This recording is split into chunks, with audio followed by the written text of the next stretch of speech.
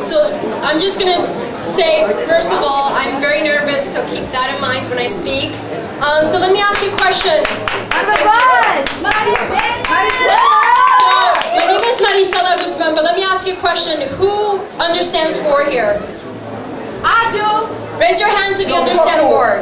Who understands why? Who understands war? Who has been in a war before in, the, in this in this space? Who has had a friend be killed by a drive-by? Raise your hand. Who has had a parent who was undocumented and had to deal with the police? Raise your hand. Who's had ever been harassed by the police? Raise your hand. Then you know what? You understand war. Because we have this misconception. I'm a veteran. I served in 2002, I mean 1998 to 2002. Never served in combat, but I can tell you what, I know what war is. You see, I grew up in South Central LA. My parents came to this country undocumented from Mexico, and they were illegal. Well, that's, I like saying undocumented, but they were considered illegals. Excuse my language, they were considered spics. And they worked hard, and they were harassed by the police until 1987 when they became residents. They understood war. My brothers, who were harassed by the police because they were people of color, understand war. My friends, my friend Evelyn, at the age of 13, was killed in front of her school.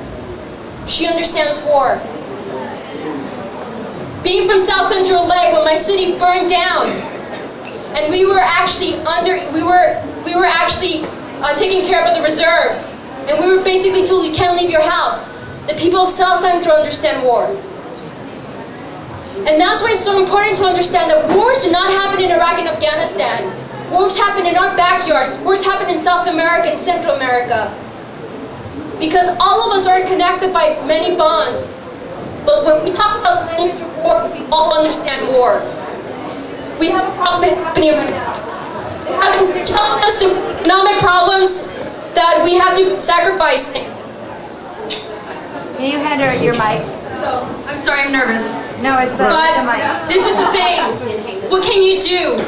Today, you're here as a community trying to support such a great organization that supports a lot of people in South and Central America. But you're not just doing that, you're supporting me and Jesus who are going to Oregon. We come from different places and we're talking to the immigrant community about the wars in their communities.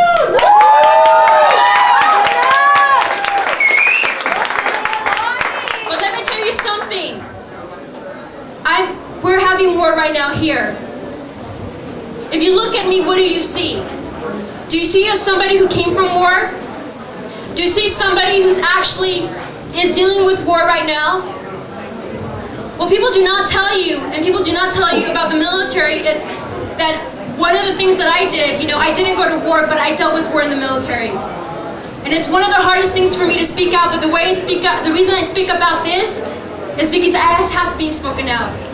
You see, I have this thing called PTSD. Who's heard of PTSD? Raise your hands. Raise your hand. Right? They tell us that PTSD for, is for combat veterans to go to war. But the reality is that right now in the military, about 30% of men and women are being raped in the service.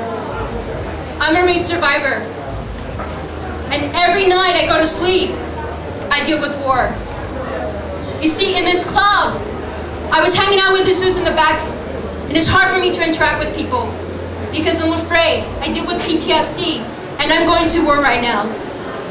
And a friend of mine who became my mentor and helped me through my process, she was uh, from Argentina. At the age of 17, she was captured in the 70s and was tortured for two years and a half.